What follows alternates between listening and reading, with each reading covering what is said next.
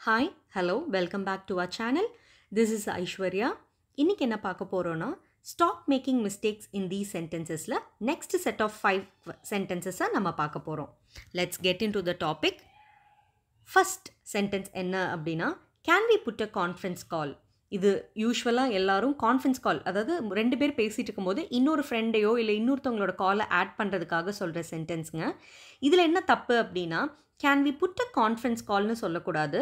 You have to say like can we have a conference call can we have a conference call next sentence என்ன அப்படின்னா the milk spoiled அதாவது பால் கெட்டு போச்சு அப்படின்னு சொல்கிறதுக்கு the milk ஸ்பாயில்டுன்னு சொல்லுவாங்க.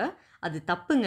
கரெக்டாக எப்படி சொல்லணும்னா த மில்க் வெண்ட் பேட் இது பாஸ்ட் டென்ஸில் இருக்குது ப்ரெசன்ட் டென்ஸில் சொல்லணும்னா த மில்க் கோஸ் பேட் இப்படி தான் சொல்லணும். இனிமேல் பால் கெட்டு போச்சு அப்படின்னா இந்த ஸ்டேட்மெண்ட்டை சொல்லுங்கள் next is blood is coming for me குழந்தைங்க இல்லை பெரியவங்க அடிபட்டுருச்சுன்னா ரத்தம் வருது எனக்கு ரத்தம் வருது அப்படின்னு சொல்கிறதுக்காக பிளட் இஸ் கம்மிங் ஃபார் மீன்னு சொல்லுவாங்க. அது தப்புங்க.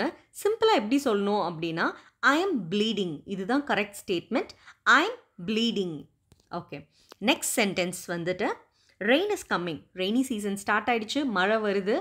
மழை வருதுன்றத சொல்கிறதுக்கு எப்படி சொல்லுவோம்னா ரெயின் இஸ் கம்மிங் அப்படின்னு சொல்லுவோம். அது தப்புங்க. இட்ஸ் ரெய்னிங் இதுதான் correct statement you have to say like it's raining okay இப்போ லாஸ்ட் சென்டென்ஸ் பார்க்க போகிறோம் சேலம் இஸ் மை நேட்டிவ் அதாவது சேலம் என்னுடைய சொந்த ஊர் அப்படின்னு சொல்கிறதுக்கு நம்ம சொல்கிற ஸ்டேட்மெண்ட் எப்படி இருக்கணும் அப்படின்னா I am native of Salem இல்லாட்டி Salem is my native town இந்த மாதிரி தாங்க சொல்லணும். ஸோ இன்றைக்கி நம்ம ஃபைவ் சென்டென்சஸ் பார்த்துருக்கோம். ஃபர்ஸ்ட் வந்துட்டு can we have a conference call பால் கெட்டு போச்சுன்னு சொல்கிறதுக்கு த மில்க் வெண்ட் பேட் இல்லாட்டி த மில்க் கோஸ் பேட்னு சொல்லலாம்.